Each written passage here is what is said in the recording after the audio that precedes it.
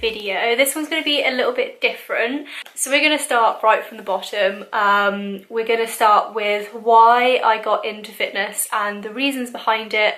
Um, so I didn't really start with an eating disorder. Um, I just was very petite. I was very small. Um, my shoulders and my upper body's always been quite broad, so it kind of accentuated the fact that I had very small legs. Um, like I had some shape to my butt, but there was just no butt.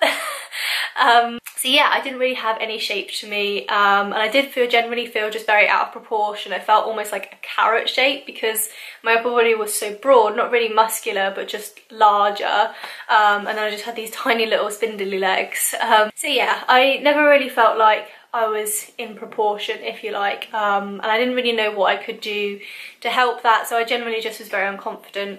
Um, and as well as that, I never really had very big boobs, um, so with having a broad upper body and a smaller chest, I just felt almost masculine. I didn't feel feminine in any way, and it was a real knock to my confidence.